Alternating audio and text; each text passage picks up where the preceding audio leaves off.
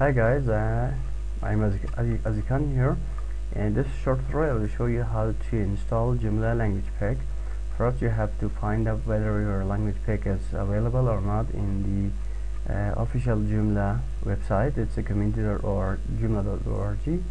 Translation Joomla translation and here and if you would like to go directly go to here and just uh, find out your language pack if it's available then go ahead download it and then install it uh, on your Joomla website.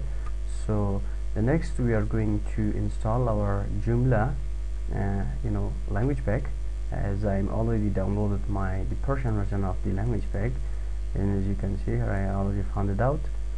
So uh, just in case what you have to do is to go to extension extension manager and install uh, your might be different because I'm using a template for the admin power admin from the Joomla Shine.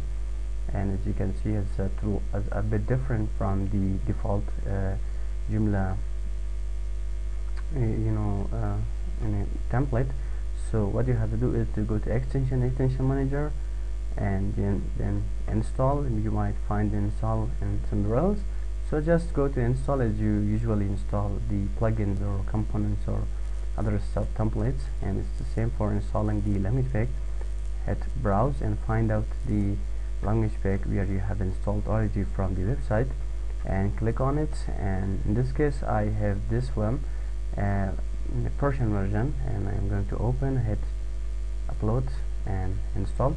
And I'm going to just have to wait to be installed. I'm just going to wait a, a few minutes. Yep it's installed. And as you can see it's installed. And the next what you have to do is to go to extension and the language manager if you work with. So you have to create a, a content for uh, Joomla.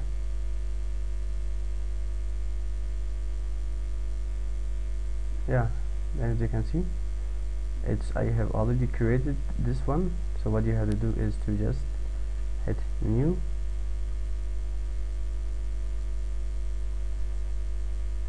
And fill the related fields and also don't forget to choose your you know flag a country flag.